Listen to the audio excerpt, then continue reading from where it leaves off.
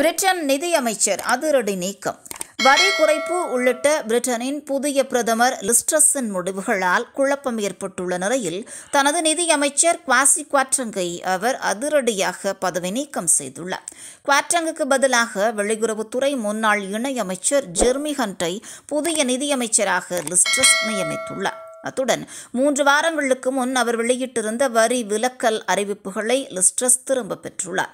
தாராள சந்தை ஆதரவாளரான லிஸ்ட்ரஸ் பிரிட்டனின் பிரதமராக பதவியேற்றதற்கு பிறகு சர்ச்சைக்குரிய மினி பட்ஜெட் ஒன்றை கடந்த மாதம் இருபத்தி மூன்றாம் தேதி அறிமுகப்படுத்தியிருந்தார். அதில் நிறுவனங்களுக்கான வரியை பத்தொன்பது சதவீதத்திலிருந்து இருபத்தைந்து சதவீதமாக முந்தைய அரசு உயர்த்தியிருந்ததை லிஸ்ட்ரஸ் ரத்து செய்திருந்தார். இதனால் நிறுவனங்கள் ஈட்டும் லாபத்தின் மீது மீதான வரி தொடர்ந்து பத்தொன்பது சதவீதமாகவே இருக்க வழிவகை செய்யப்பட்டது.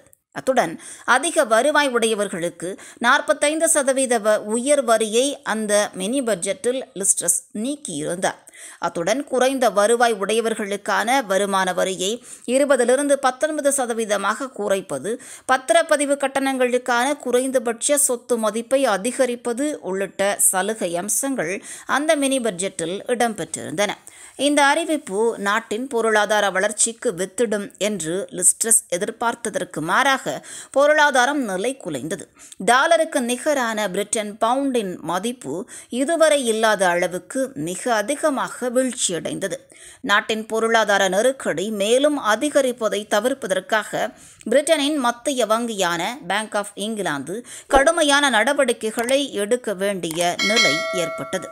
லிஸ்டஸின் பொருளாதார முடிவுகளுக்கு ஆளும் கட்சியிலிருந்தும் எதிர்க்கட்சியிலிருந்தும் பலத்த எதிர்ப்பு கிளம்பியுள்ளது. இந்த சூழலில் செய்தியாளர்கள் சந்திப்புக்கு திடீரென அழைப்பு விடுத்த லிஸ்ட்ரஸ் நிதியமைச்சர் குவாசி குவாட்ரிங் அப்பதவியில் தொடரப்போவதில்லை என்று அதிரடியாக அறிவித்தார். மேலும் நிறுவனங்களுக்கான வரி உயர்வை ரத்து செய்தது. அதிக வருவாய் ஈட்டுவோருக்கான நாற்பத்தைந்து சதவீத உயர் வருமான வரியை நீக்கியது ஆகிய தனது மினி பட்ஜெட்டின் அம்சங்களை திரும்பப் பெறுவதாகவும் அவர் அறிவித்தார்.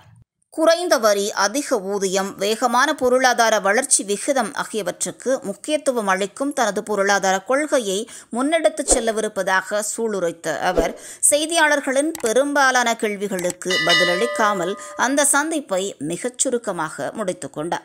சர்ச்சைக்குரிய மினி பட்ஜெட்டை நிதியமைச்சருடன் இணைந்து பிரதமர் லிஸ்ட்ரஸும் தான் தயாரித்துள்ளார் என்ற நிலையில் அதனால் ஏற்பட்ட பின்னடைவுக்கு குவாசி குவாற்றங்கை மட்டும் அவர் பொறுப்பாக்கியுள்ளது சர்ச்சையை ஏற்படுத்தியுள்ளது. குவாசிக்கு அடுத்தபடியாக லிஸ்ட்ரஸும் பதவி விலக வேண்டும் என்றும் ஒரு தரப்பினர் வலியுறுத்தி வருகின்றனர். எனினும் பிரதமர் பதவியில் தொடரப்போவதாக லிஸ்ட்ரஸ் உறுதிபட தெரிவித்துள்ளார்.